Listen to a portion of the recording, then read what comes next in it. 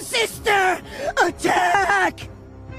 Give me my game slave back now, and I'll let you keep one of your limbs, Dib.